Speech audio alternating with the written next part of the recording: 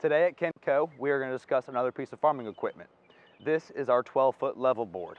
The level board is going to fill in any gaps, holes, or divots in your field. Some key features of our level board, as you can see, this machine is towed. It is completely hydraulic adjustable to adjust the angle of the way that, that tow bar meets up to your tractor. If you look at the inside of this machine, there's three levels of grader. Each level will push soil to a different opening, smoothing off and leveling off your field. At the very end of the machine, you can see the roller.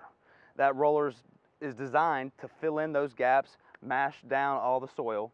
It is also available to fill with water weight, so you can actually pack down that soil. As you can see, we have hydraulic wheels on the back to lift it up and make this machine available to tow down the road. You have any questions, please feel free to give us a call or visit kenncomfg.com.